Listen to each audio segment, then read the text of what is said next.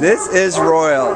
Royal's ID number is A5248-511. Royal is a 10-year-old um, Maltese that came into the shelter as a stray on January 8th. Um, Royal is a sweet guy. We just got him uh, some grooming done, got his nails done, uh, got a brushing. Um, he will probably, uh, he's definitely a senior who will need some care. He'll need to get his teeth cleaned, uh, would be great for him. And um, just a really sweet, gentle guy. A little scared of the shelter environment so far. Uh, as you can imagine, it's it's tough being out on the streets and then coming here as well. Uh, what else can you tell us about sweet little Royal?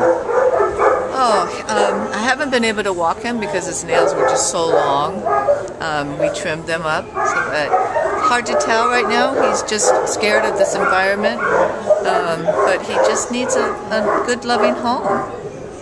Yeah, he is um, about eight uh, point two pounds, so he's a little little underweight, um, but is definitely has a really gentle disposition.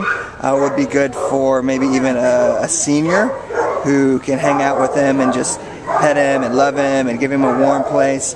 Um, I imagine for sure once uh, he gets accustomed to the, that nail trimming that he'll be able to walk and then once he gets out of the shelter environment.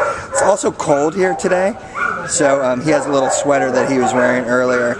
Um, so if you like to, to, dress up your dogs in adorable sweaters, well, uh, Royal is all about modeling them for you. So we would love for you to meet Royal. Again, his ID number is A5248-511, and he is ready to go home and get out of here today. What a good boy.